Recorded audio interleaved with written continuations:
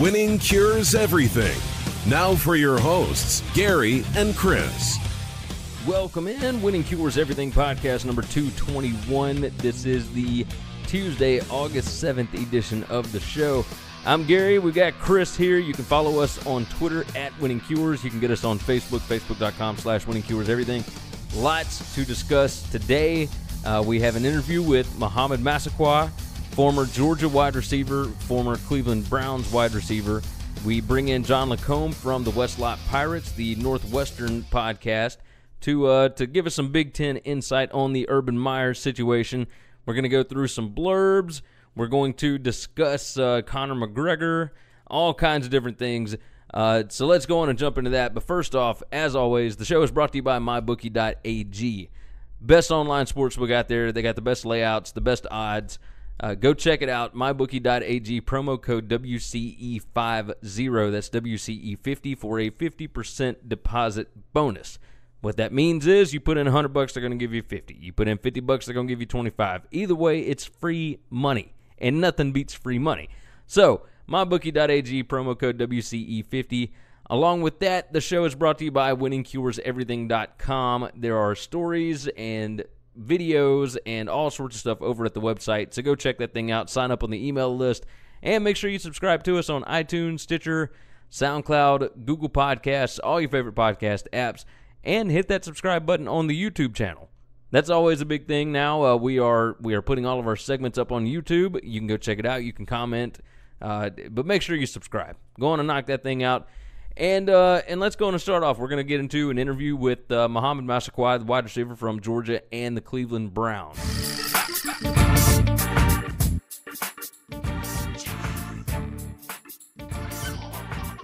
So we've got former Georgia Bulldog and Cleveland Browns wide receiver Mohamed Massaquoi. Uh, before we talk about the upcoming football season, I want to go on and talk about you for a little bit. Is that all right? Yeah, let's get into it. All right, so let let's just start off with the ATV accident and the prosthetic. Now, trying not to be disrespectful, this thing looks awesome. Like it's if if anybody wants to know more about it, there's a Players Tribune video where you explain what happened with the accident. But I I want to know more about the prosthetic. Like you lost four fingers, and this uh, this robotic yeah. thing allows you it, it your hand is fully functional, right? So just first just thank God for technology. Uh, not knowing what was out there, you, you never want to lose anybody part, but in being able to have the device that I have currently, it makes it a lot easier when you have something that looks the way that it does, and it functions the way it does, and it's just uh, amazing where technology has, has come thus far. So is it like it? It's all. I mean, you, you control it with uh, with like your mind, right? Like I, so, I don't know how this stuff works. so everybody's like, man, is it Iron Man? Is it uh, Luke Skywalker? like, is it mentally controlled? How it works is that there's sensors inside of it, okay, and your muscles fire off electricity. Not to get too scientific, whenever you're moving them, and what they do is they attach sensors to those places that have electricity going through them, and then whenever you make a gesture, your hand opens and closes. So my particular device is from a company called Touch Bionics, and what they've done is just really just uh, enable people like me just to get a lot of their function back. Um, I have four moving fingers that, that, that move individually. Uh, it's all carbon fiber, so that uh, from an eye eye test, it, it definitely passes that. So get stopped a lot by kids and random people in the yeah. airport wanting to see it. Or, I, I can only imagine. T- Touch Bionics, that in and of itself sounds like something out of like an Iron Man movie. Um, but like if you oh, wanted yeah, to, if you wanted to flip somebody off, you could do that, right? Like you'd have no problem. I, I, I could. You probably wouldn't see it on camera just so it doesn't go viral, but uh, I, have done it a time or two before. I could imagine. I, all right, so uh, so we've got all of that. Let's. Uh, hey, Chris, you want to jump in with uh, with some NFL stuff and whatnot? Yeah, we'll, we'll we'll get talking about a few things. We're gonna we want to hear some stories from you from your NFL days, your college days, and we're gonna talk about the upcoming season. Um, I never want to be disrespectful and ask somebody to tell a story about somebody else because you have stories that are unbelievable and you got to be able to play at, a, at an amazingly high level. But you happen to play with, I'm the resident Cleveland Brown fan. I'm kind of the only okay. one around where we live. And You're you're a loyal fan. Cleveland Yeah. Bad, Cleveland that. Brown fans are the most loyal fans in the world. So uh, so you you you. you had the luxury of playing with who, and I don't mean to disrespect to you or anything. With, in my opinion, the greatest offensive lineman to ever play the game of football, and one of my heroes in Joe Thomas. He's kind of a crazy guy. Do you have a crazy Joe Thomas story? If you don't, it's totally fine. If you do, I would really like to hear it. Well, it, it- there's no disrespect when you mention Joe Thomas's name. I mean, he, he is one of the greatest players, uh, not only to put a Cleveland Browns jersey on, but just to put any sports jersey on, basketball, football, baseball, whatever you name it. Uh, he's a guy who he, you know, the weather that we played in in Cleveland, and the guys still have to face this year. And he being from Wisconsin, he calls that God's country, and he loves it. Uh, the colder, the better. Uh, when it's uh, negative deg- degrees outside, he's the guy out there with his shirt off and just enjoying it as if he's walking on a beach in Florida. So uh, that will probably be the only flaw that Joe Thomas has is, is loving the cold weather too much. But outside of that, uh, he's as solid as they come. He's as good as they come. And I hate that as it appears the Browns are about to turn the corner, that he's uh, transitioned out to uh, a few other things. All right, now you were. At, I want to get back on you. You were drafted in the second round What's to the up? Browns. Uh, you came out of Georgia. Yeah. You played with the Browns from 09 to 2012. Now, back in 09, the Browns maybe didn't feel as hopeless as they have the last few years. What was your first thought when you got the call from them? Like, at first, were you at the draft or did you watch it at home with the family? And then when it was the Browns calling, what did you think? Uh, well, I watched it at home with the fam- with the family, and I'm originally from Charlotte, um, and I'm a Southern guy, and we don't really get much coverage on on the Browns. And you know, forgive me for this, but North Carolina is a big basketball state, so Oh, yeah. most of our focus goes on Charlotte Hornets. But look, we're in Memphis. Came to town. Like, Memphis is Hoop City. So, like, we, we understand that. Ah, don't don't don't do that. Don't do that. Uh, North North North Carolina. let's, let's keep it on North Carolina. Uh, but uh, I, I will say that, that my knowledge of the Browns was was um, vague at best. So I, I actually went in with a with a clean slate, not not really knowing much, and starting to educate myself when I when I got there. And it, it's one of those places that is very rich in culture, as you know. Um, winning tradition. It hasn't been like that in the last few years but very, very prideful group. And I always tell people, I, I know when the Browns came back, it was a big deal. But if the Browns are able to make a serious run or you know win a national, not a national, but a Super Bowl, then I I don't know what they'll do to that place. Uh, they'll they'll just be overjoyed. I hope the city is still standing afterwards. Oh, I could only imagine. I'll, I'll be there if that ever happens. There's no no doubt in my mind.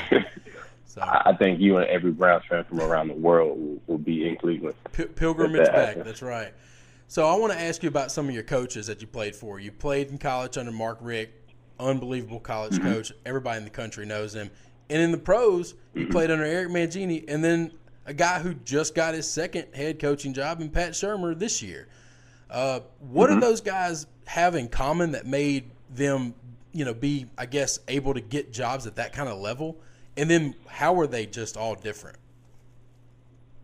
Well, first, I mean, obviously, to, to get get a job at that level, no one does it by luck. So you, you're dealing with everyone that um, high football IQ, um, guys that, that they understand what it what it takes to win. They had success from the places that they were coming from. I'll, I'll start with Coach Richt, who um, is different than than most coaches. Obviously, he leads with his uh, faith background, and he's able to get a lot of just great players that that way. And um, he's an offensive minded guy. He, he learned under uh, Bobby Bowden down in Florida State, and um, we learned a lot of things. We were able to have a lot of success, and now he's a guy who has, um, I, I think, is just rejuvenated going back home and being in the Miami Hurricanes atmosphere all over again. I'm, I'm hoping that he's able to get a national championship down there, not before Georgia, um, but I, I do hope he gets one um, so- soon, sooner rather than later.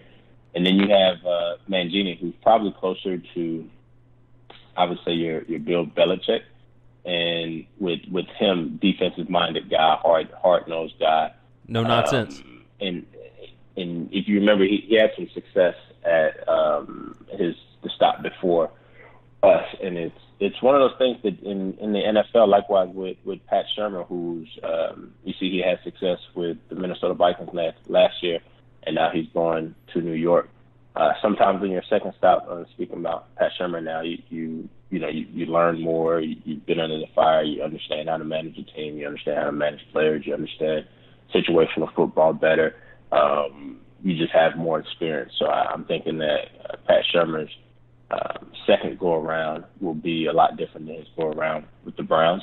And I think Mangini was a case that had he had a little bit more time with the Browns, potentially um, things would have turned out a little bit different. I, I think that when Holmgren and his staff came, you start to see a softer side of Mangini, a side that start to uh, relate to the players a little bit better. So you just never know um, with some of these things. Uh, with Coach Richt, had had the Alabama game gone a little bit different um, on the five yard line, maybe he's the, the the guy that brings the national championship to Georgia, but that's not the case. Um, maybe with Mangini, if a couple things go differently now that Shurmur's in the Big Apple, maybe things go different with uh, Saquon Barkley and Odell Beckham Jr. You you just never know with coaching. There's a lot of good coaches where their record doesn't always show, but um, Coach Richt and Shurmur, they're they're having second chances. So we'll we'll see what happens uh, with it. Not, I'm not sure what Mangini's doing now. Probably. Uh, I, I think he's doing TV. I think. I'm not real sure about that. Oh, he's on. the, the irony, he, he never liked talking to the media. Now he's, uh, but he becomes the media. That, that's right. well, when you got a brain like that, sometimes that's just what you got to do. Now, tell me you this. You got to share that knowledge. Uh, aside from the head coaches, how much of your play is is based on? Well, maybe I'm asking this wrong. I, I want to know what the role of like the position coach and coordinator is, as opposed to the head coach. Which one has more of an effect on you as far as your play goes? Um, I would say think of the head coach as probably the CEO that they're dealing with a lot more outside of just the X's and O's. They're they're basically dealing with the whole organization top down and, and making sure that, that things are run smoothly across, whether it's the training room, uh, the weight room, players, contracts, all that good stuff. And then your uh, coordinators are strictly focused on, okay, how does this offense or defense work together? And it's up to the position coach to make sure that uh, at the granular level that the players know exactly what they're doing and to prepare for them. So uh, with the head coach, uh, the, the players obviously have great relationships with it, but we're more so focused on the coordinator and our position coach. And if you have a, a coach, let's say like um, Coach Richt, you know, he's going to be more hands on with the offense. If you have a guy like Mangini, he's probably going to be a little more hands on with the defense, making sure that that's polished up because that's their, that's their sweet spot. But especially for young talent, the position coaches are crucial just because whether you're coming into the SEC or you're coming into the NFL, there's so much that you have to learn to get acclimated to the game. And if you don't have exceptional vets on the team, sometimes that transition can be a little tricky. So it's up for them to catch you up to speed, uh, and sometimes it's for them to find the right guys to make sure that they can do what they're trying to teach them. So they're kind of playing both sides. Okay, all right. I, I want to have a little fun with you, and I'm gonna get Chris to ask Let's this go. question. Yeah. You were with the Browns for four years, so from 09 to 2012, Mm-hmm. You had seven starting quarterbacks. Now we've got a list. Can you name all seven of them? I, I can. Uh, Brady Quinn, who I actually saw about two weeks ago. Okay. Uh, Derek Anderson, who is, is still a good friend of mine as well. Jake Delhomme, he came from the Panthers, so I, I was a big fan of him. I'm from Charlotte. Then you have Seneca Wallace, who's doing really well in arena football right now. Uh, Colt McCoy. Um, you have uh, Brandon Weeden. Uh, I'm trying to see. Was Thad Lewis in that That's rotation? Thad Lewis's Um, last one. Man, you Yeah, knocked that- that, out like nothing. Thad Lewis.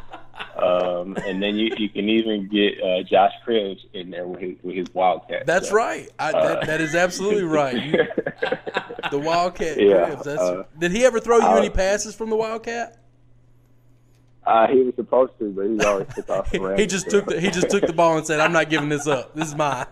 Yeah, and, and so in great. practice, uh, he would throw them, and then in the games, he turned into uh, a, a returner. I think he'd just forget and think that we were supposed to be blocking for him. Uh, but uh, ideally, you wouldn't play with that many quarterbacks. But the benefit is that you make a lot of friends.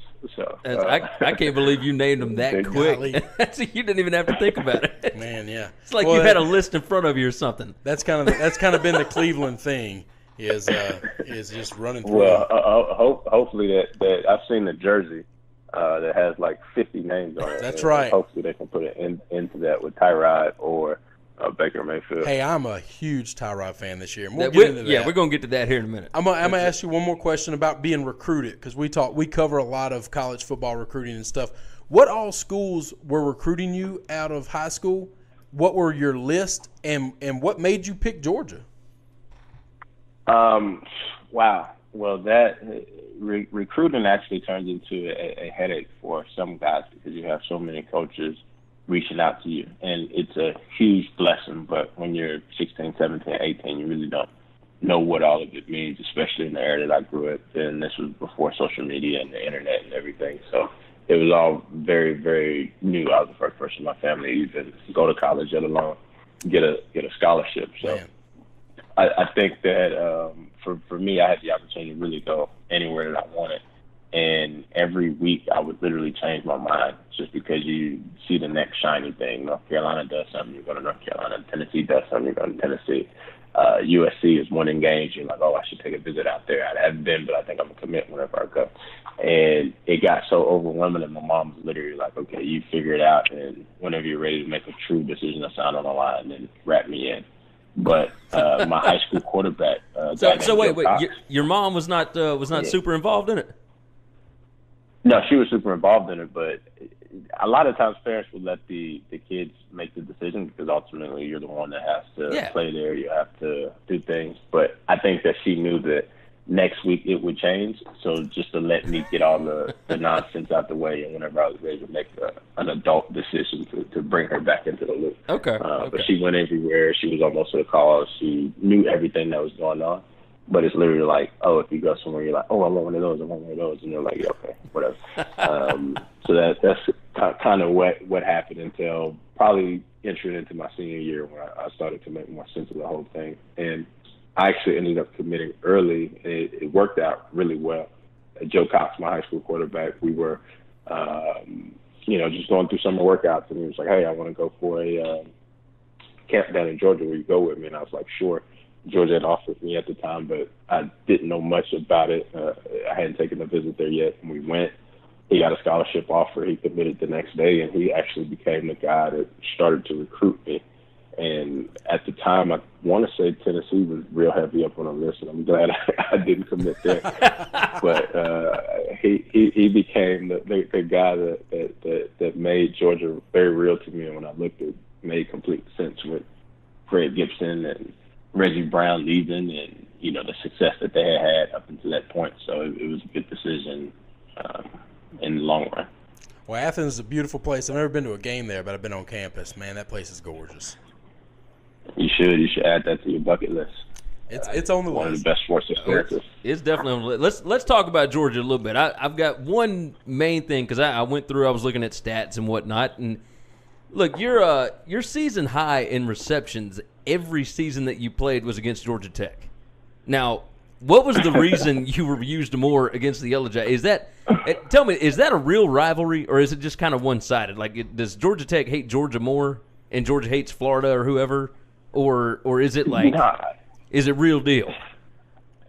I, I think that the the thing that's that's tough is because there's true hatred in uh, among so many teams. Like Georgia legitimately hates Florida. Georgia legitimately hates Auburn. Georgia legitimately hates um, every team in the SEC. and when it comes to Georgia Tech, because we share the same state, uh, we just don't want to lose to those guys.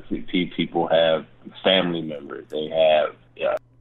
All right, so uh, so we'll pick up where you left off. Um, you were talking uh, about how much uh, you know Georgia fans hate basically everybody, and in that state, Georgia Tech and Georgia fans are, you know, they're in each other's family. They don't want to lose to each other. Um, and so, uh, tell me, tell me about you and and how you ended up with that many receptions every time you played them. Like it was your season high, literally every year. You know what I think it is is it's my birthday. My birthday's November 24th, and it always falls around Thanksgiving weekend. And I, I want to say it's just a, a good birthday gift from so, so Coach uh, Richt Mike Bobo and yeah, Matt they hooked you up. So that, that's probably like the only thing I can attribute it to. Ah, I, I like that. I like that, and that's a good birthday time. I'm a 22nd birthday for it's a November. so- it's a good birthday. Yeah. yeah. Right around Yeah. Thanksgiving. And You're No, always no around better family. way to, to give a birthday gift other than give a receiver a whole bunch of passes. So, yeah. There you go. All right, let, let's talk about 2018 college football. Uh, it, is Okay. there a surprise team that could pop up in the SEC this season or even in coming years? Or is this just going to be Alabama Georgia's conference for years and years to come? Well, Georgia did it last year. I I don't think anyone expected us to arrive to the party as fast as we did No. uh, without a VIP pass at that. You know, uh, so I I wouldn't put it past South Carolina. I wouldn't put it past Florida, uh, LSU, Tennessee. These guys are recruiting the same athletes and the same type players that we are. Even when the record is bad, the, the players are still good. It's just some things that aren't clicking for the team as a unit. So we can't go into any game this year, whether it's Vanderbilt or Kentucky or some of the other teams that, that don't appear to be uh, powerhouses. But in saying that, I fully expect us to to have a rematch with uh, Alabama again. I, I think I agree. I- I'll tell you this: we put out our SEC East previews uh, a couple of weeks ago, and I picked Georgia to go eleven and one, but I picked them to lose to South Carolina. Chris over here had them nine and three. I don't even know what he was thinking. But uh, it, Come on look, now. I- Don't- don't I tell know him that. Don't tell him that. Chris, I don't, yeah. Don't tell him that. Look, 11 and 1 I thought was pretty reasonable. Right? So last year Georgia goes into Auburn. It was the the only real hostile environment that Georgia played in. And this year the only real hostile environment it, it unless you want to count Kentucky or whatever, but a, hostile environment that that they could lose. I thought they might get caught by South Carolina in week 2. Am I crazy for thinking that? Because Georgia fans have been all over me, telling me we're not losing to South Carolina. You know, I don't care what week it is. We got more players than they do, etc. Is eleven and one not realistic? I think it's realistic. I, I think that, especially when you look at South Carolina, they've been considered probably the fourth team in the East for a long time, always behind that uh, revolving door that's Tennessee, Florida, Georgia. So I think this is their time to figure out, you know, can they uh, emerge as one of the SEC leaders now that the uncertainty with Florida and Tennessee is up for grabs and the timing of which they're playing Georgia when we are trying to figure it out, losing all the talent that we had last year. So I, I think it's a, a a chance. Anything's a chance, but I, I want to say that one of the best things that probably happened for our program is the way that Auburn game happened the first time we played them, just because it was one of those things where we're riding high and we got knocked off our horse. And Kirby can always use that as a reference, and a lot of the guys that are currently there understand what it feels like to go into a place and, and basically, you know, get beat up. Uh, but the thing that did happen, the way that we rebounded that same team in the SEC championship, I think that's the type of performance that you can expect whenever we start to go in those hostile environments uh, and put our best foot forward. All right, now I, I want to get just a, a quick preview of the SEC from you. I'm going to read off a few Vegas win totals, rapid fire style. Okay. I just want you to tell me over under. All right. Okay. All right. LSU, they're over under seven. They're going over under. Over. All right. Auburn, they've got it nine. Even. Even? Okay. Uh, they've got Florida at eight and a half. Over. Ooh, all right, Ooh, all right. okay. You like Dan Mullen then? I, I, no, I mean, I mean to to go eight and four is not a uh, how Florida would want their season to go. I think they can win eight games though, okay, or okay. nine. You know, yeah. One or the other. Either either way, you think it'll be around eight and four, nine and three. Uh, Texas Yeah. A&M, they've got it seven. So what, what do you think about Jimbo Fisher? You think he gets that turned around? No, I think he's right right around it. He ha he has a lot that he has to overcome over there. Okay, okay. And then they've got South Carolina at seven. This will be the last one. South Carolina at seven. Over. Over. I like that. I like that. All right, let's uh, let's close up with some NFL talk. Uh, how many games do the Browns win this year? Nine, at least nine. I love it. Nine This- this- wins? This, is it right here. All right, now now is this because of Tyrod Taylor? or Is this because of Baker Mayfield? I think it's because of Tyrod Taylor. I, I'll answer it like this: If Baker Mayfield wins the job, he's extremely special because Tyrod is a solid quarterback, and you saw what he did for Buffalo last year. He is a But professional quarterback. collu- He's a special quarterback, and Baker's going to learn a lot from him. And it's probably one of the first situations where you don't come into the season with a true quarterback controversy. I know the outside is saying, you know, can Baker win the job, but it's not as if he's unseating a guy that is, you know, up for grabs. Tyrod's had tremendous success in the last few years. Well, I mean, he got the Bills what to the Tyrod's playoffs. going to do? yeah, Excuse me. that's it. He got the Bills to the playoffs. That's a pretty big deal. he, he got the Bills. Is that is a huge deal.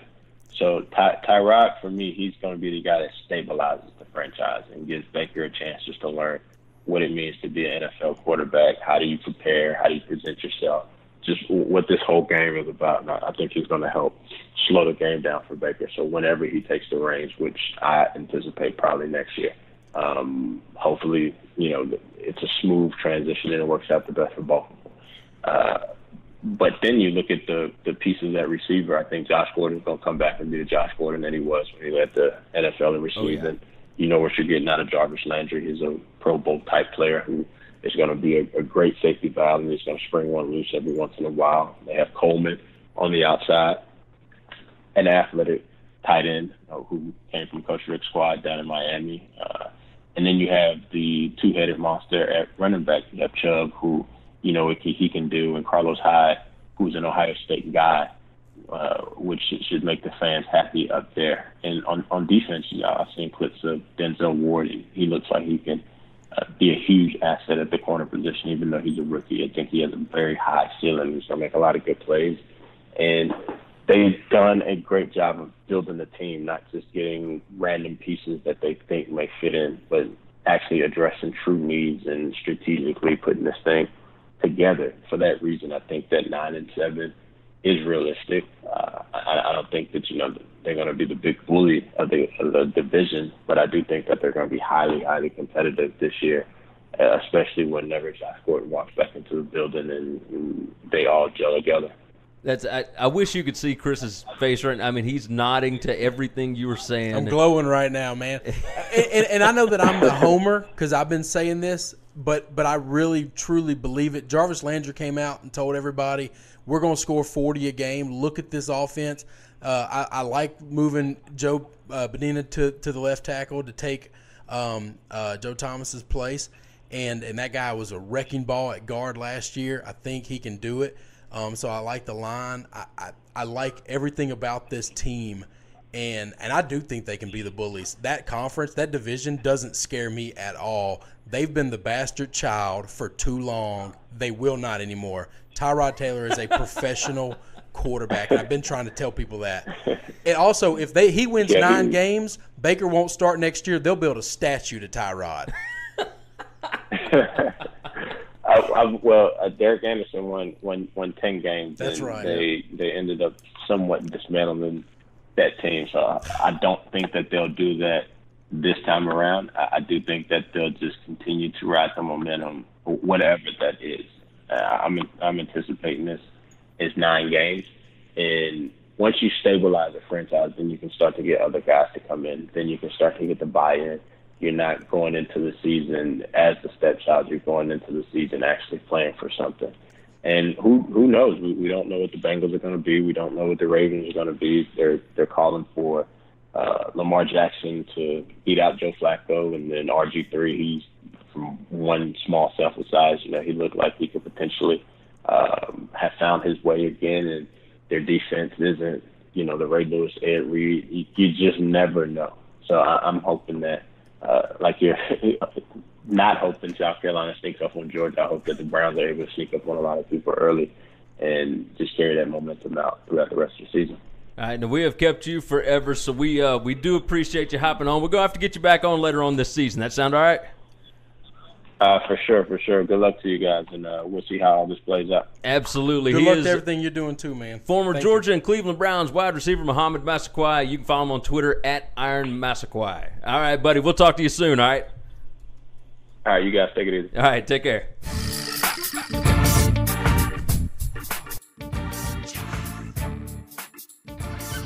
All right, so we got John LaCombe from the West Lot Pirates on with us, the Northwestern podcast. You can check them out on iTunes, uh, Facebook, Twitter, it, it, everywhere. West Lot Pirates are everywhere. So go check them out. um, we're going to talk about Urban Meyer today. So we'll give everybody a summary of what has happened to get us to this point. Uh, former Ohio State coach Zach Smith was arrested for criminal trespass on his ex wife's property just before Big Ten Media Days. That led Brett McMurphy, who is a former ESPN reporter but is currently working for himself. I think next week he starts at Stadium, but he's just freelance right now. Uh, he starts digging around. He finds that Smith had a domestic assault arrest in 09 for pushing his pregnant wife up against a wall uh, when he was a grad assistant under Meyer at Florida. McMurphy also found out that Smith had another domestic assault arrest and a restraining order put on him in 2015 by the same woman, Courtney Smith, his uh, his now ex-wife.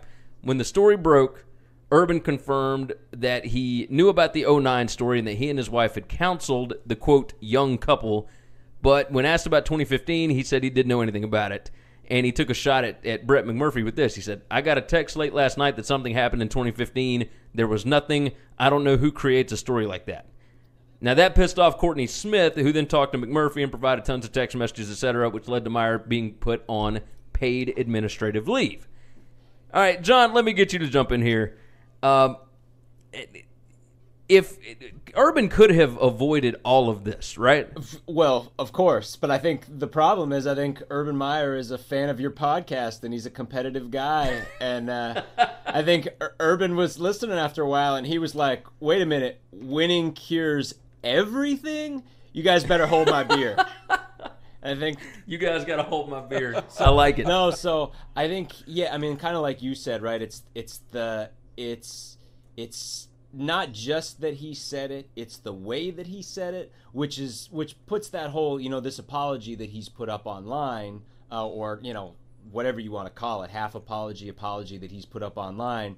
Um, I think it's what kind of draws that into question, right? Because it's not like he just stood up there and was like, I don't really know what you're talking about, or I'm not at liberty to discuss that, or whatever. He kind of, like you said, he took a shot at McMurphy. He was like, I don't know who makes up a story like that. I mean, he's really dismissive. And then someone, I don't know if it was McMurphy or who, um, you know, a couple hours later, kind of doubled down on it. And it's like, you sure this is where you're going to go on all this? And Meyer was kind of like, that's that's where I am. You know, that's that's what I'm saying. So um, I think it he certainly dug himself a little bit of a mess. It does him no favors that Zach Smith uh, went on ESPN. Well, hold on, hold on. Let's let's go. Let me let me run through the rest oh, of it. sure, go ahead. I mean, and then yeah. and then we'll jump in. These guys are so, geniuses. So Ohio State assigns a six-person investigative committee to research the situation. Uh, now, in my opinion, it should have been done by an independent third party, but Ohio State assigns these people. It's current Ohio State Board of Trustees members Alex Fischer, Janet Porter, and Alex Shumate. They are joined by former Ohio uh, House Speaker Joanne Davidson, former acting U.S. Deputy Attorney General Craig Morford, and Carter Stewart, who is a former U.S. Attorney for the Southern District of Ohio, all of which understand exactly how important football is to the economic fabric of the state of Ohio. Well, keep it now, Yeah, it, go ahead. I was going to say, keep in mind when you look at like something like former Ohio House Speaker Joanne Davidson, this whole like you can't go into anything on, with Ohio politics and not have it crisscross with Ohio State athletics. I mean, keep in mind right Exactly. now you've got Jim Jordan, who's a congressman from the state of Ohio, who's got an eye on running for a Speaker of the House of the United States House of Representatives, is fighting off allegations uh, that he turned a blind eye to sexual assault when he was the assistant wrestling coach at Ohio State. So it's like, I mean, we'll get into this in a little bit, but none of this stuff is happening in a vacuum, and that's not good for Urban Meyer. No, not not at all. So we'll we'll fast forward a touch to Friday afternoon. Meyer releases a statement, like you were talking about, uh, basically saying he was ill prepared to answer those questions at Big Ten Media Day, and that he did know about the 2015 instance, and that he reported it to the proper channels, which to me, sounds like he's throwing his AD, Gene Smith, under the bus. Uh, but along with that, Zach Smith goes on 105.7 The Zone in Columbus, Ohio. He tells the show host that he never abused Courtney, nothing illegal or violent ever happened between them. Immediately after that, McMurphy tweets out a screenshot of a text from Zach to Courtney where he's apologizing for choking her on two separate occasions.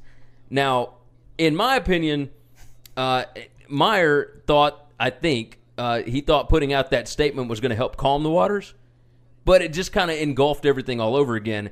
Uh, he, him saying that he knew the whole time, but that he reported it, like that immediately led the already pissed off people to start in on the fact that he lets uh, he let a person with two different domestic assault arrests stay on his staff for years. Like I, it doesn't matter if charges are brought in that case because people understand the circumstances that a wife and mother, etc., can be in in that situation. So let's dig in here. I want thoughts on on what Meyer should have done if there was a way for him to get out of, of all of this mess.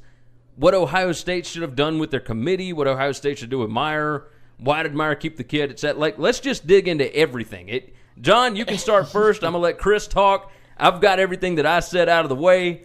Y'all just dig in on this dude. Yeah, Let's go. I'm sure we're all big Urban Meyer fans, so I'm sure this is going to Oh, be no, no doubt, no doubt. yeah, No doubt. Uh, no, um, so I mean, first of all, I mean, this was kind of said, like you said, he went on Ohio Sports Talk Radio, Zach Smith, then he goes on ESPN. I mean, it it does Meyer no favors that he, he goes on. He's you know half defending Meyer, like, oh, I think he could have done this, could have done this, which is the worst thing for Meyer ever, because Zach Smith comes across in these interviews almost like like an actor playing an abusive husband, like on TV, where you're almost like, that's a little, you're a little too on the nose. You need to dial it down a little bit.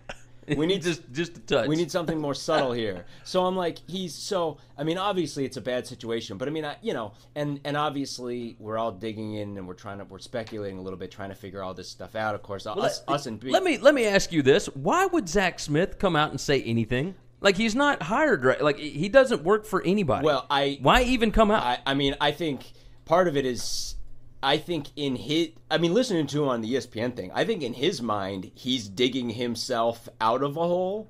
Whereas to everyone else, he's just digging himself deeper and deeper in. I think in his mind, he's got something where it's like, I mean, he must have said husband and wife issue. I don't know how many times on on ESPN. this is just between me and my husband. It, it's like, yeah, the 1950s called. Like, you need to, you know, the i mean it's just like between me and my wife it's like ridiculous. So but i think you know looking reading between the lines here i think there is something where it's like urban meyer knows that that his assistant coach and his wife are having all of these problems and you know, and his wife, I'm sure. I mean, I, you know, I don't know if Urban Meyer's ever even going to bother making a formal denial, but obviously his wife is coming to him, being like, "I've been talking to Courtney Smith, and this is a disaster. What are you going to do about this, etc."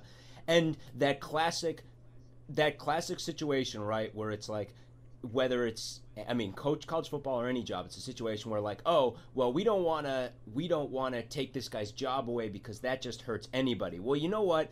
There are clear channels to keep you from having to make that kind of decision. It's called Title IX and everyone's bound to it that works at a college campus and you don't have to make those decisions urban meyer you just kick it up to the proper channels now like you said he's saying that he did that i don't know um, I will say this, and and again, you guys can speak to his time at Florida better than me, better than anybody. But what I can tell you about his time in the Big Ten is that I mean, you I mean all you have to do is like like you said. I mean I I think to most of the people on the outside, this Ohio State panel is looking like you know a lot of a lot of members of the home team are on this panel. Yes, right.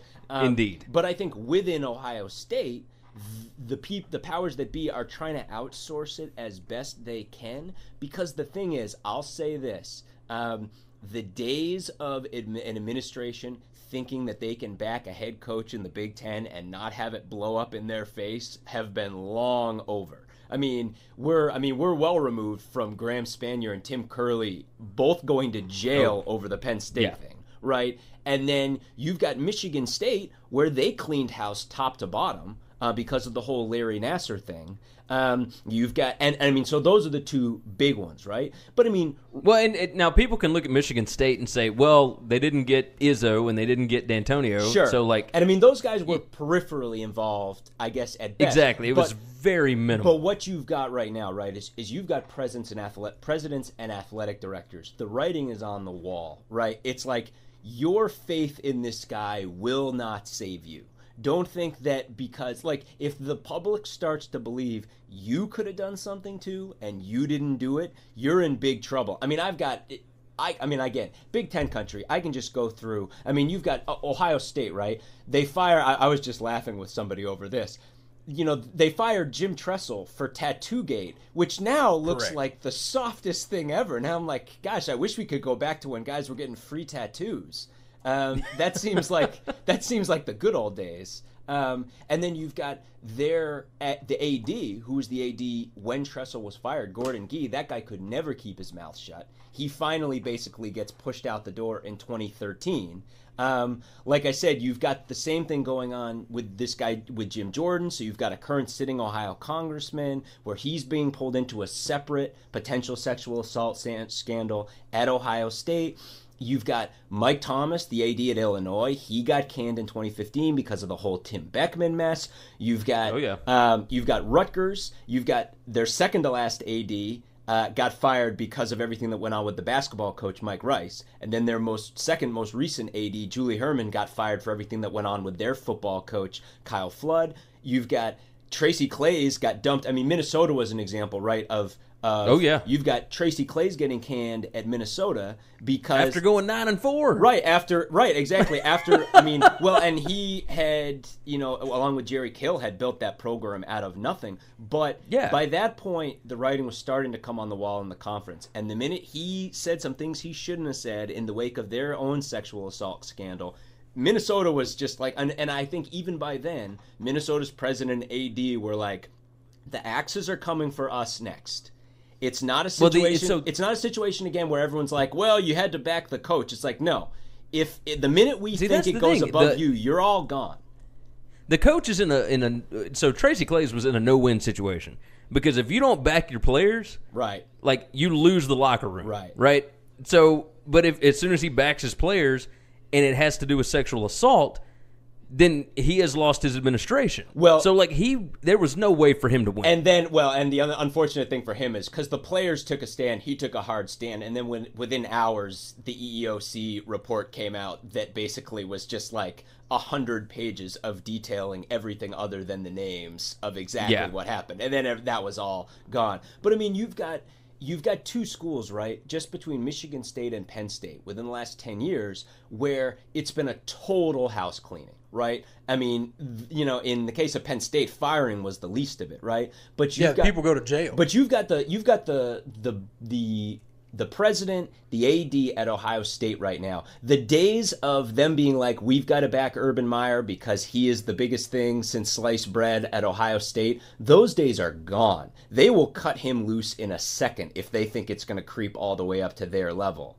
Um, and be- Well, you talked about Gordon Gee, and and remember he came from Vanderbilt, so where he was before, he had never seen real football money. Right. Right. He had never seen what like what effect a big time football program can have on a school. So he worshipped Jim Tressel. Like he thought that was the biggest thing going. A- At least with Gene Smith, like he understands. At least I would think that look, you got to get out ahead of this thing, and I I would think that he and everybody else up there would understand if you cut Urban Meyer loose.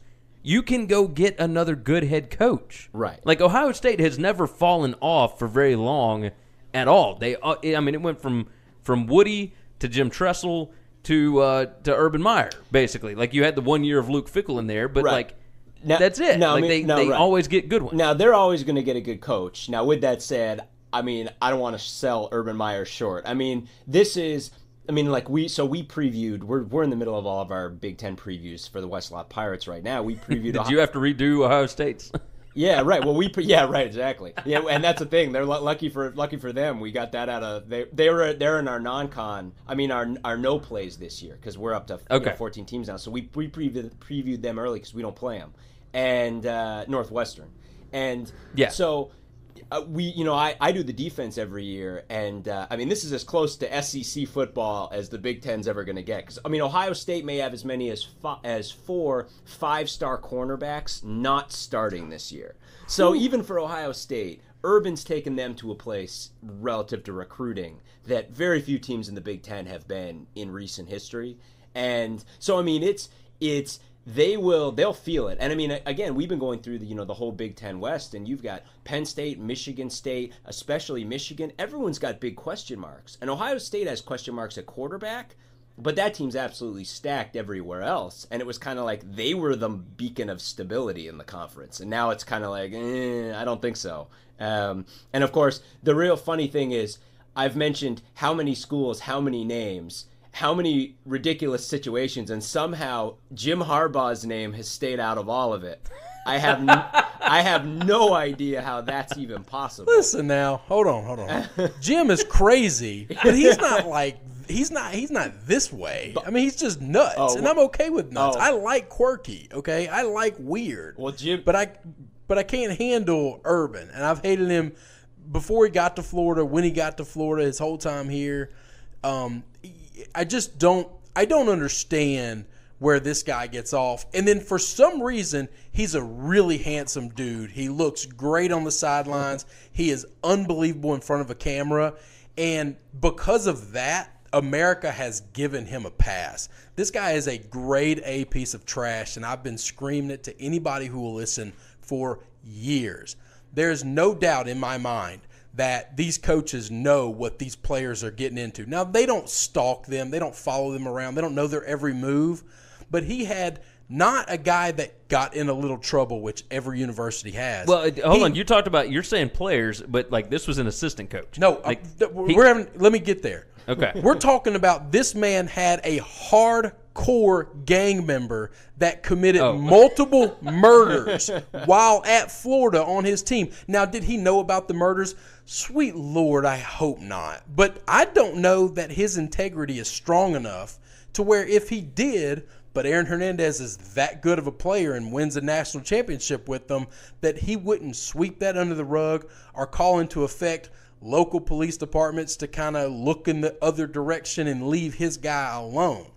This guy is is is a is a whole different level piece of trash, and somehow he has gotten a pass from everybody all the way through our country, and I don't understand it. And I always felt like, is there something wrong with me? Am I judging him too harshly? Because I despise him. I don't think he has any character at all. I don't think he has any integrity at all. Is he good at coaching football? Sure outside of coaching football, the guy probably could barely be a PE teacher.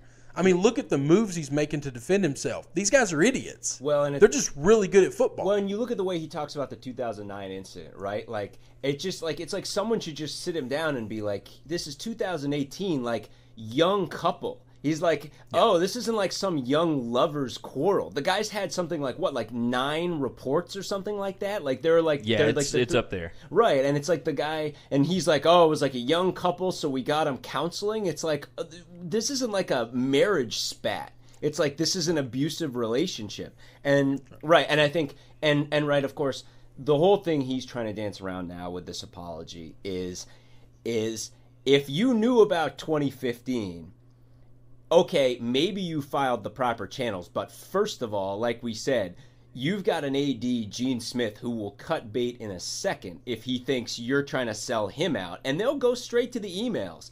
They're going to want to say, is there an email record of this? Show us the email where you told Gene Smith about this in 2015. Because if you didn't and that email's not there, you're in compliance, and there's no way Gene Smith's ever going to be like, yeah, Urban talk to me about this. Even if that did happen. If there's not a paper trail, uh, it ends with you. And the second thing is, even if he did that, everyone's immediately going to be like, if you knew about 20, 2009 and you knew about 2015, what the heck was this guy doing coaching your team for another three years? And Well, that's the and- question, right? Like, let me let me get both of y'all to answer that. Tell me, uh, other than him being Earle Bruce's grandson, why would Meyer keep this kid on staff? Like, he, there's 200 wide receivers coaches in America that could do his job. I don't, I don't know the answer to that, Gary. Again- I just I, Yeah, I think Urban thinks he's bigger than the. He doesn't have to answer to anybody. These guys feel like they're gods because we make them gods. And I just, I just think like this guy. Again, I said it before, but I think you know it became clear from all those Courtney Smith text messages, right, that this is one big family, right? All these wives are talking together, which means all the wives are talking to the husbands, which means it's all going around in circles. And I think that means that Urban was probably sitting there in 2015 or something. I mean, it could be. I mean, I'm giving him a little bit more of the benefit of the doubt than Chris is, but again, it might just be like Urban's just like, I flat don't care. The guy can coach. But like maybe Urban was sitting there being like, uh, well, golly gee, I just don't know what to do. Um, obviously, this is a really bad situation, but I don't want to hurt Courtney Smith by firing him. But again, like I said, that's why all of these Title IX and everything else is in place, so that someone like a football coach isn't making these decisions. You're supposed to Correct. kick it up the ladder, and then someone whose job it is to make these decisions just says, "Yeah, you got to fire this guy," and then you're like, "Sorry, it's, out of my hands." Title gotta IX can you." stuff. Let me let me get on this Title Nine stuff. Title Nine is the most confusing Oh, crap. Like yeah. universities should not be in the business of trying to to dig into these things. They should not be investigating this. It should be police and whatnot. local right? police department. Well, and so hang on. So this is another route that I take, and, and I don't know this, and and and I don't know the police officers there, but I know small town cops, and I know schools that have immense power and influence. Okay, this guy's a football coach. If she does call the police. How much of this stuff gets kind of swept under the rug and hey, why don't you go sleep at your sister's tonight? And he cools down, and then tomorrow y'all talk and everything's okay. And that's kind of how the police handle it. I'm not saying that, but would it surprise me if that happened? No, not at all. Which is why him wearing that uniform, him standing on that sideline saying, I am an employee of the Ohio State football team, carries so much weight, he cannot have that luxury to protect himself. And while you keep him employed, he's always going to have that luxury of saying, hey, don't mess with me. I work for Ohio State football. Well, and again, too, like I mean, if you go back to the Penn State thing, right, and how it all came down on Paterno, because Paterno will say, "Hey, I kicked it up the ladder and I went on," but a lot of people would have said in that situation, right? A lot of people said even even back then they'd be like, "Kicked it up the ladder. How come you didn't call the cops? How come you didn't find out about it? Run and dial the police, and then." You know, again, it's literally the job of the police to do this. So you got a little bit right. I mean, if you call the cops and the cops don't do anything, you know, I'm inclined to give the coaching staff a little bit of a pass to be like, look, it's documented you called the police, and if the police didn't do it, I mean, you then you're going to be arresting some cops. But it's like, But if Urban calls the cops, the cops are going to do anything Urban tells them. Anything. I mean, it's it's possible. I mean, he's but again, it's he should just. I mean, and again, should call the cops, wash his hands of it, and again, it's again it's 2018 and it's like when separate from everything he does right here did he follow the proper channels a bunch of things you're gonna have a huge section of the popul- of the, of the populace that's just gonna be like I don't want to care about I don't care about whether or not you told Gene Smith. How come the minute you didn't find out one of your employees was beating his wife you didn't just call the cops and then like deal with this situation. So I don't know. I mean, again, I think for a split second, Urban thought he did himself a a solid when he released that statement, and then between the Zach Smith interviews and everything else, that has evaporated really quickly. So I think the real question is this this quote unquote independent panel. What is their timetable? and uh, and how are they going to try to work about this? Because I would imagine behind closed doors, the first thing I would do is I'd go to Gene Smith and I'd be like, "Let's see the emails. Let's see the emails where he told you this. Is it your problem or is it his problem?" And uh, I don't. I mean, I kind of at this point, I'm like, if he did, and then it's in Gene Smith's lap, you know, it's it's kind of like someone's going to get fired. And I, I kind of have a hard time seeing that it's Gene Smith unless these emails pop up. My well, see, my problem is this. So I, I, I'm actually friends with a lot of my connections in Cleveland. I know a ton of Ohio State people, and there is a mass following right now that is like getting together, supporting Urban in this. And that's something that really bothers me. I can I can tell you with all honesty, Les Miles so many LSU fans thought he had to go because he couldn't win ball games that he should have won consistently and the offense wasn't what it was and it was all football related. And I was the one guy saying, I want my coach. He cares more about these guys being good men than he does about being great football players, and that matters to me. It is some now I'm in the minority of fanatic football fans, but that matters to me. I cannot imagine, and it helps that I hate Ohio State, and it helps that I hate Urban Meyer, but I cannot imagine defending a football coach with something that I find of a line of principle, something that I find that this is not negotiable, that this is not something that I can just overlook or overpass by and say, well, once season starts, I won't worry about this anymore. I'm not saying that I'm better than all of those other people, but I have no idea how any of them are able to line up in the streets, gather together, and say, We stand with Urban. He's our guy. We don't want him gone. There has to be something else that happened, and it's all strictly because they know that college football is so competitive. When they lose Urban, the time it takes to go from Urban to the next coach could be a national championship season slip through their fingers. And that disgusts me. Yeah, it's I, I, I mean I completely agree, and I think it's funny, like you said, with Meyer and this image and everything. I mean, I, th- I think Tebow's part of it, right? I think this. How does he get credit for Tebow being one of the greatest people on the planet? But that's what I mean, like right? It gets it gets pulled in like this set of values, and keep in mind, you know, I mean, that's he's he's Tebow's not the best quarterback during the uh, the best Florida quarterback of the Urban Meyer era. That would be Cam Newton, who was there for about yeah. two seconds until That's he right. stole some laptops and then got, got kicked, kicked out. And that one, and kind of as as you pointed out earlier, that one's kind of far down the list in terms of things guys oh, yeah. who were at Florida uh, while Meyer. Well, I mean, you you had Chris Rainey like uh, telling a girl like "time to die, be right," like all, all kind of different stuff out there. I mean, Florida was a train wreck, right? And and you know, I think and and again, I don't I don't want to wade into conspiracy theories and all that, but I mean, I was when Meyer suddenly resigned, I was kind of like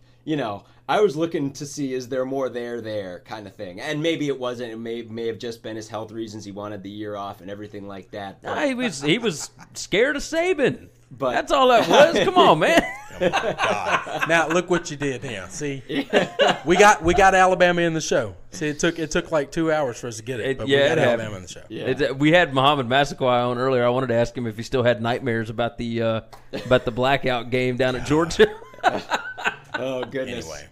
Uh, all right, so so let's wrap this all up in a nice little bow. Uh, what could Meyer have done to prevent this, other than like firing him back in 2015 when he found out about it? And and what happens now? Like, uh, what what are we going to find out this week? I, I mean, I don't know what we're going to find out new, but I've got to think, like I said, it's chain of command, right? And again, this doesn't happen in a vacuum. Plenty of ADs and, and not a small amount of university presidents have been fired in the Big Ten behind some of this stuff. And um, they're going to go to the emails, and if you know, and G- someone like Gene Smith's only going to be too happy to be like, I don't have the emails. This doesn't fall in my lap. I don't care what Urban said in his statement. None of this arrived at me. So it's either on paper or it's not on paper. But I feel like if it's on paper, Gene Smith's going to be the one who's going to be in the line of fire. And if it's not on paper, I just don't see how Urban gets out of this. I think for a second he thought he'd gotten himself some wiggle room, but but I don't know. I mean, it's stunning because a week ago this wasn't on anybody's radar, and just bang, it's come right up. And um, now, do you you don't think there's any way on earth if we get into a he said she said and Urban digs his heels in and says I told him and he says I didn't. You know, everybody in the country and definitely everybody in Ohio State's going to believe Urban. I guess, but I mean, again, uh, if you've got an AD and a school president that think they're going to get fired, they will cut bait. Like I said, I mean, this is it, it's a different world than it was 10 years ago. These guys do not ride or die for their college football coaches the way that they used to. Not if they think it's going to come all the way up to their job. So, I, again, I you know we'll see, but I, I've got to think this independent panel or whatever they're looking at some emails right now and they're seeing what's there, and I think that's going to be the next shoe to drop one way or the other. I like it. It's it's it's really sad. I mean, we, we, we laugh and we joke because Urban and these guys just bumble this situation so badly, but it's not funny. This chick was terrorized her you know entire marriage Oh, for a for long sure. time by this psychopath, and and it was allowed to happen. Well, none of this comes out if he doesn't get arrested for criminal trespass. It wasn't even the domestic assault stuff that popped up. Like No. that stuff got brought out because of the trespass. Right. Like had none of that stuff, like had he not gone on her property like he was told not to do, like none of this would have happened. and, and Urban calling, you know, in essence, uh, you know, the the writer that come out and, and, and, and reports all this, pretty much fabrication. Oh, he just made this whole story up. What makes people do that? Yeah, if you if you don't call out Brett McMurphy, Yeah. you're probably all right. yeah, you're probably all right. But you literally just called this guy a liar and said he made all this up, and now look what happens. Well, it's you know it's, it's funny on our pod we've talked about it too, where um, you know when Me Too blew up over the past two years, right? We were like, if there's any place this is going to get to, it's going to be college sports, especially college football. And Oh, yeah. uh, because these guys have just been so clearly poor at, at handling everything, and you've got, you know, and again, it's like 15 years ago, 10 years ago, whatever it was a heck of a lot of different environment for a college football coach to be like, I just didn't know what my assistant coach was doing, and I heard one thing and I heard another, and I just wasn't sure who to believe, so I just kind of had to keep on doing my job. And now, now today, like none of that flies. No, now, get that now it's like, oh, that's if that's if that's what you're gonna say, then we'll just fire you because that's not like none of that's gonna none of that plays anymore. And I think again, it's I doubt this is the first or the last time this kind of thing is gonna come up, but uh, it's there. It's it's arriving at college football, and uh, I, I'm sure Meyer's not gonna be the first or the last guy. How do you think it affects their season? Give me a win total. Oh boy, I mean, I, I think you know their ceiling's 14, so uh, that's where that's where it was. I mean, they've got as clear of a path. We were talking about this. I mean, you've got Michigan. I mean, first of all, I mean, Well, I get the ceiling would be 15, wouldn't it? 15 right i mean the Yeah. amount and the amount of uh yeah 15 it's yeah that's all all the rules man the I know. The, it's uh, ridiculous. I mean, the amount of good defenses in this conference is crazy. But you've got, um, I mean, you know, we could go down a whole, a whole other corrupt coach coach road if we start talking about Shea Patterson. But Shea Patterson's at Michigan now, and uh, Yeah. Yeah. and you know, it, it, it's like if he's the answer for them, maybe that unlocks their potential. Michigan State, they had an amazing run defense, good overall defense, and good quarterback play last year. The play calling was kind of a little bit up in the air. Um, and then, so you've got, and you got Wisconsin, right? Like the talent level's not there, but the defense is unbelievable, et cetera, et cetera. But you keep, pre- we keep previewing all these teams, right? And it just keeps coming back to Ohio State. It's Ohio State that everyone else has to knock off. It's like, oh, well, if everything comes together for Team X and they get this kind of quarterback play and this kind of defensive play, maybe they can go at Ohio State. Or if Penn State's defense makes, you know, an even bigger leap this year and they're able to make up for Saquon Barkley and Trace McSorley is is off the charts, maybe they make a run at Ohio State. But it's Ohio State by a good margin still, even with a new quarterback coming in. I mean, they're just heads and tails above everyone else from a talent and recruiting standpoint. So, but now the question is, you know, what does this do to all that? I mean, it could be that at least in the short term, um, you know, they're still able to work with with everything that they've got. But I do think, you know, and even, Urban seems to realize this, the whole idea of a distraction and everything. I mean, they don't want him around the program right now. They know that all the pieces are pretty well in place, at least for this season. They want to let things run. So I don't know. I will say, you know, you've got Harbaugh, call him crazy, call him whatever. He couldn't wait to jump on this. Um, you know, he's Oh, yeah. he's tweeting out uh, whatever uh, those those who first practice to deceive. Oh, what a tangled web we weave! Like he had that. it's like he had that ready to go on Twitter the minute Oh, yeah. the Urban Meyer stuff came down, and it's kind of like, all right, Jim, but come Urban on. is taking shots at him, Right. And and and so you know, You you had to expect it. you had to Right, it. right, exactly. So I mean, that's that Ohio State Michigan thing, and that goes back to everything you're saying about before, right? I mean, there's this whole element above all of this, right, where everyone's like, well, so does Michigan have a chance now?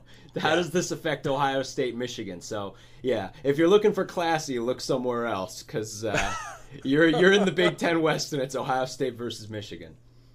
Uh, good gracious. All right, he Thank is you for John. jumping on. Yeah, thank you for jumping on. He is John LaCombe from the West Lot Pirates. You can follow them on Twitter at West Lot Pirates. They're on Facebook. They're on uh, what is it? WestlotPirates.com. Is that the website? That's it, westlotpirates.com. And and uh, once yeah, if you want if you want to check us out, if you're obviously I know you're you're SEC country, but uh, if any of y'all are curious about what's going on in the Big Ten, uh, we're in the middle of all of our Big Ten previews right now. So you want to look at least on the football field, what's going on with the Buckeyes or what's going on with the Wolverines or anybody else. It's all up there right now. So check it out. Absolutely wonderful. All right, buddy, we're gonna get you back on during the season. All right. All right, thanks a lot. All right, we'll talk soon. All right, so Conor McGregor is officially back.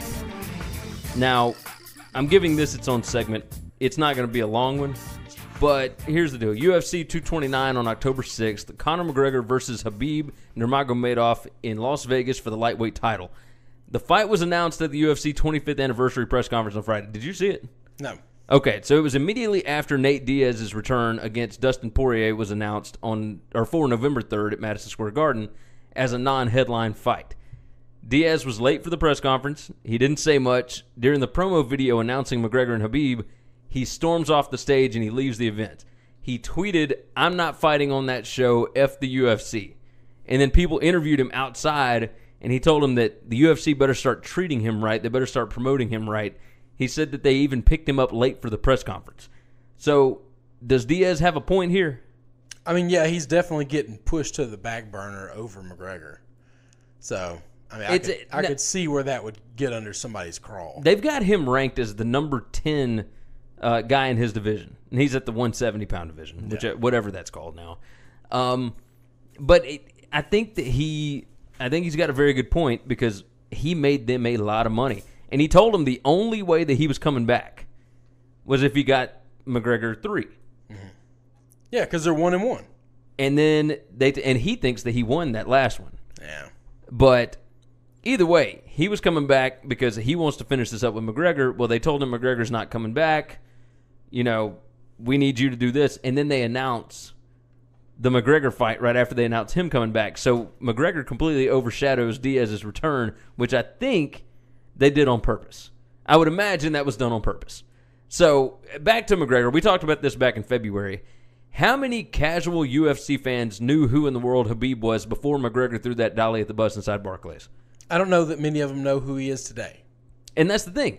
They made him such a, a bigger name, like on ESPN, on everywhere else, because of what happened with McGregor getting arrested and coming after him because of what he did to Artem and, and everything else.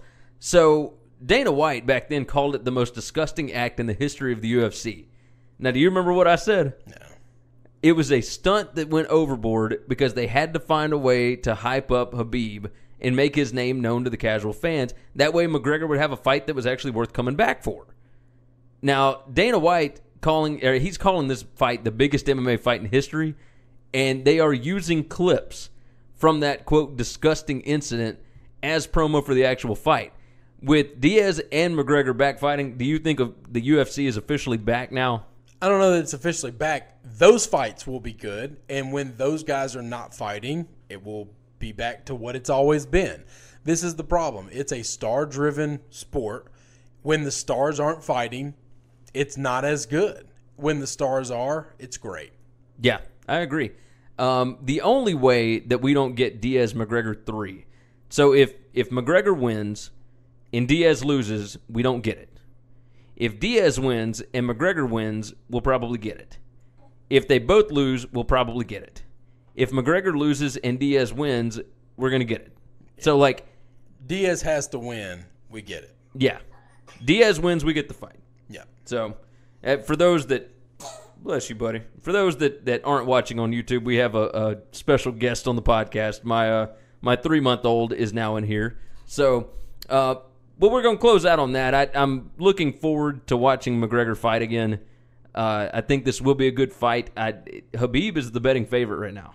And he probably should be. Yeah, he's he's minus one thirty if I'm not I mistaken. mean, this guy knocks folks out. You got that right. Well, and he and he, he knows how to grapple. I mean, he, he gets on the ground, man.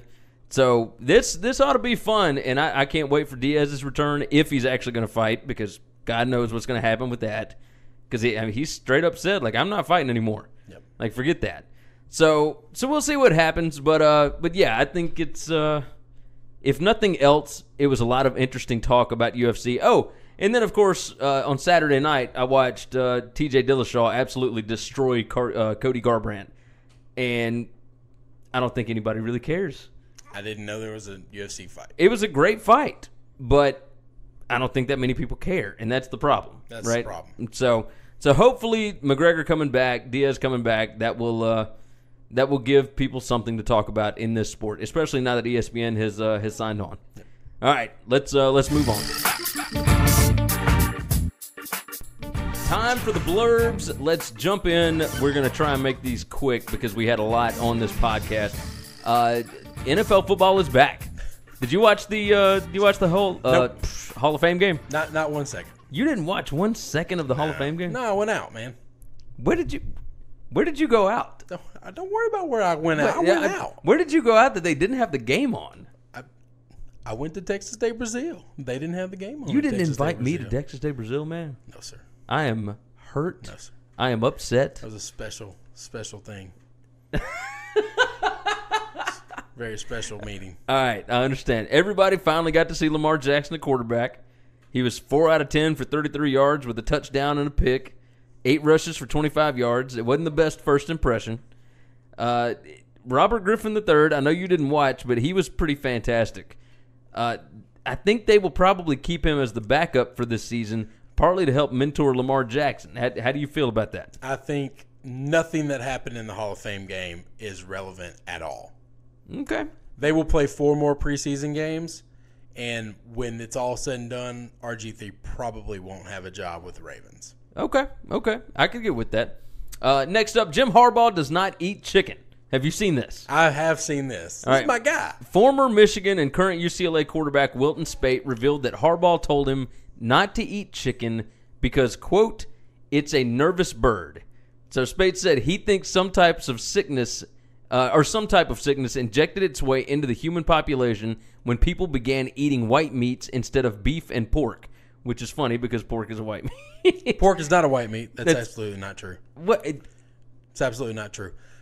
Pork is not a white meat. The pork that you get in the grocery store that is white, you're talking to a barbecue master. Okay. That, that, that you get in the grocery store is white has been so bred out, but it is absolutely a red meat. If you get a pure Duroc pork butt, it's all red. Okay, okay. We'll, we'll roll with that. So Speight said, uh, Speight said that Harbaugh believes this hundred percent. What are your thoughts on this? I love it. I like the concept. Um, I love my. You know this. I love Les Miles. I love Steve Spurrier. I love Mike Leach. I love weird, quirky guys that are totally comfortable in their own skin. Harbaugh is that. It makes sense. I'm in. I'm not hard to sell. A chicken is a nervous bird. You need to be eating cows and everything right. else that will Eat a stand up for themselves. Like by God. Donald Trump called LeBron James dumb on Twitter, and people lost their minds. So the tweet says LeBron James was just interviewed by the dumbest man on television, Don Lemon. He made LeBron look smart, which isn't easy to do. I like Mike. That was the tweet. Any thoughts on this? Yeah. Um, you can't go on any type of media whatsoever and tell a guy who literally just started this school and doing the things that LeBron James is doing, regardless of what you think of him basketball wise, and call him dumb and not get completely blasted. Now, Melania did come out and, and praised him afterwards, which is good on her. Uh, I don't think that the president should be in the business The of, of reason. yeah. it- the The president should not be in the business of Twitter wars with with athletes or any Any celebrities. I agree. This. Now I do. I, I will say this: LeBron has talked trash about Donald Trump for two years. That's but you don't get But- to run for president and not be criticized. I com- I'm with you 100. percent I'm. It, it is strange times that we are living in. No, it's- very it's- strange it's times. ridiculous. If this was just celebrity against celebrity, Yes. then that's one thing. Before he sat in that house on Pennsylvania Avenue, we're having a completely Yeah. different conversation. Trump needs to realize that once you are in that chair, Yep. you have to be bigger than this. So doing that was Le- just LeBron James might be one of the classiest, best individuals walking the planet right now. yeah. And and if you're gonna blast him after what he has been doing, dude, you're you're just you're gonna come out on the wrong side of that in history. Yeah, I agree. Uh, DJ Jeffries decommitted from Kentucky this week. Local story. Yep, local story. Uh, DJ Jeffries plays at Olive Branch High School, or played at Olive Branch High School. He still plays. He's a junior. He's that a senior right? this year. Yeah. Oh, you're not- right. Oh, he's yeah, he'll still be now. He's yeah. He's- I'm a sorry. You're right. Uh, look, he plays for Penny's. Uh, well, used to be Penny's uh, AAU, team. Correct. But Memphis fans need to kind of pump the brakes on this Penny versus Cal rivalry a little bit. Like getting Jeffries, who who actually played for Penny's AAU team, doesn't really make this a rivalry, in my opinion. He's Am I gotta, wrong? he- no, yeah. He's got to go into an out of state situation for both of them, head to head with a kid that has no connection to either one of them. and and if he wins one of those, Yeah. like if, if he brings And- and Matthew DJ Hurt, Jeffries, DJ Jeffries has re, like family relations. I'm a, I, I got a little bit of insight, not a lot, just enough to like say some stuff, sound like I'm intelligent, Enough but, to talk trash. But there's a really good chance it's all wrong. Um, I, I've got a little bit of inside information from some friends that are actually close to DJ Jeffries and all these AAU guys from Memphis.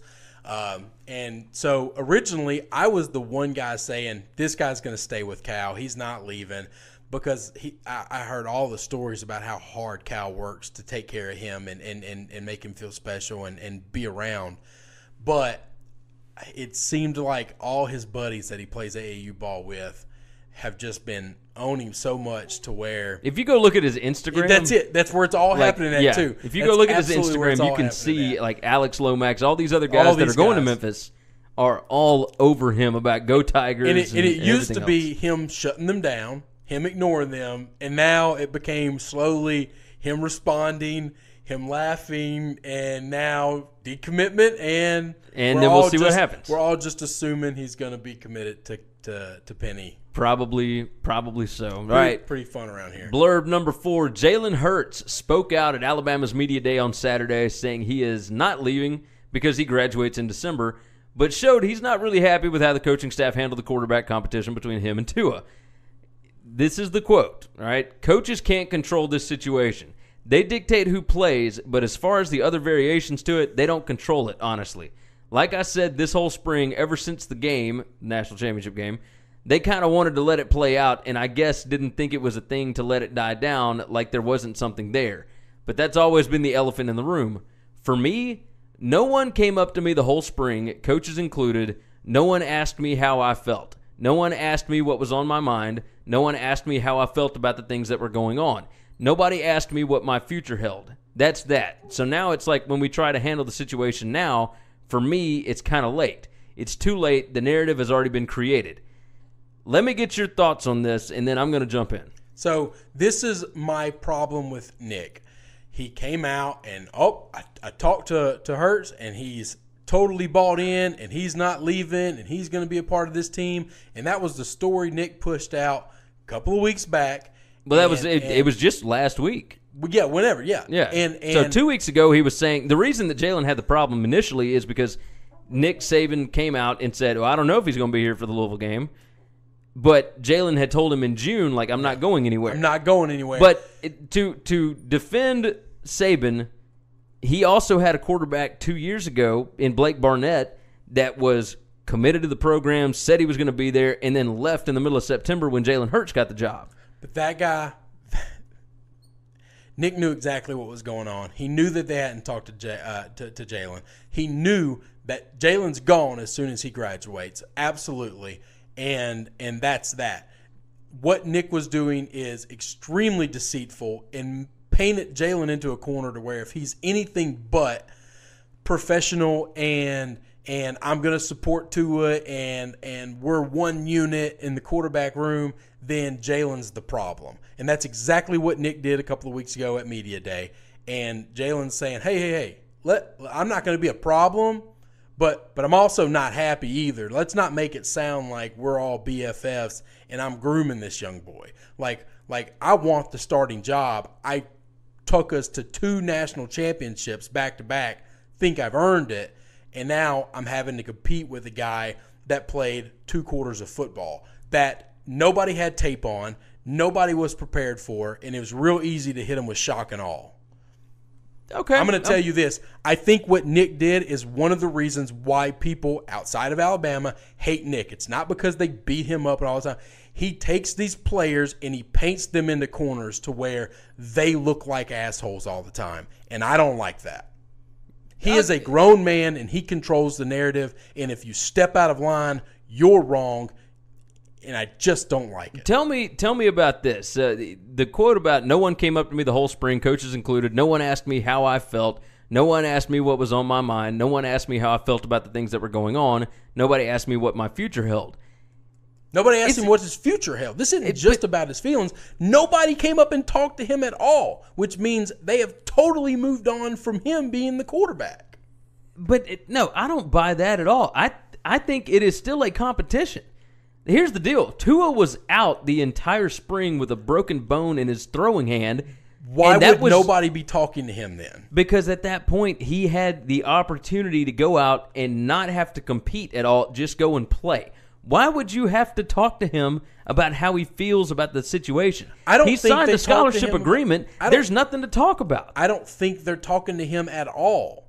I think he's given you examples of things that he wanted to talk about, but I don't think any communication was between him and any of the coaches. And see, and that's I, I would That's love to have asked him more is, questions. Is, is is you know as good as I do if there's any type of communication whatsoever and there's something on your mind, then you have an opportunity to get that information out there to tell them. But if there's no communication at all, I believe they are treating him like one of these players that are hurt and once you're once you're on the training table, you're not on the practice squad, you're you're dead to us. I don't think anybody's talking to him at all. I think they have you- completely you might be moved right. on and and and this is this is the problem that people have with this sport. This is my problem with the transfer rules and all this other stuff is you as a coaching staff can completely ruin an entire year of eligibility for this young man strictly because you're done with him, you've moved on to the next thing, you don't want to compete against him, so you're just going to back him into a corner and say, "You sit over here for a year and then you can go somewhere next year after you graduate." But then you've got one year to do something, and that's it. That's my problem. Now, I mean, you you have said before, football is the ultimate meritocracy. So if Jalen Hurts is the best quarterback, he will be the starter. I have no doubt about that. I don't know that. I think they've already moved on. And I and the reason I say that is because I think these guys are so different in the way they quarterback. Nick knows that you can't put together two completely different game plans. You can't put together two completely different offenses and hope that if this guy wins out, then we'll run this offense, and if this guy wins out, we'll run this one. You can't prepare that way. Yeah. There's no way. And you can't put together an offense for Jalen and throw Tua into it. It worked in a national championship when you had a team that had no film on a kid, weren't prepared, weren't expecting that at all. That was an ultimate kamikaze move. We're going to lose this game if we don't do something drastic. They did something drastic and it worked out. Do you do you think that they will both play against Louisville? No. You don't think so? No. I think both will play The- against Louisville. The only way they both play against Louisville is flat out we're we're making sure Jalen plays four games because we want that red shirt off him. Because that way, if he chooses to go in conference in the SEC, then we don't have to worry about playing against him, but for one year. I don't know about that. I, I- I, think I think they both get to play. If you think Nick Saban isn't above that, you're wrong. You're just wrong. That guy's. We've talked above about that on this podcast about whether or not he would do that. burn that, burn it. He's gonna burn it. There's no doubt in my mind. He's gonna make sure Jalen leaves Alabama in December And only has one one year. year eligibility. I could see it. I could definitely see it. I don't know. There, there's a lot to uh, Still a whole lot to figure out in fall camps. Fall camps just opened up. So we'll see what happens. The only but, way uh, Jalen plays is if Tua's injury is more serious than we think. that's it. We are. Uh, I got to tell you, we're not used to seeing this coming out of Alabama football players. It is. Uh, it is very interesting. I think that's why I grabbed a lot of headlines. So Yeah. you you don't normally have somebody going against the status quo. All right, we're uh, we're gonna move off of that. Uh, you know what? I think we're just gonna wrap it up. Wrap it up. We're wrapping it up. All Great right, you, show. You guys know what to do. Go check out the podcast, uh, iTunes, Stitcher, TuneIn, SoundCloud, Google Play. You're already listening to it, or you're watching us on YouTube, one or the other. But uh, YouTube.com slash Winning Cures Everything, uh, iTunes.com slash. Uh, well, maybe we don't have one of those. I don't know. Leave us a review on iTunes. Yep, five stars. Leave us a written review. Uh, SoundCloud, Stitcher, Google Play, or Google uh, Podcasts now. All that wonderful stuff. So go check those out. WinningCuresEverything.com is the site. MyBookie.ag, the best online sports book out there. Promo code is WCE50. Go check that thing out. It's a 50% deposit bonus, which means basically you put in 100 bucks, they're going to give you 50. You put in 50 bucks, they're going to give you 25, et cetera, et cetera. Goes on from there. Uh, you can follow me on Twitter at GaryWCE. You follow me at Chris B. Giannini. Or you can follow both of us combined at Winning Cures. You can also get us on Facebook, facebook.com slash Winning Cures Everything. That's going to do it. So we will be back next week with Big Ten previews and Memphis predictions and uh, and all sorts of other stuff. Uh, we want to thank Mohamed Massaquoi for being on the show. We want to thank John LaCombe from the Westlake Pirates for being on. It was a long one, but a good one. Thank you guys. Later. See you next week. It's time for the rundown.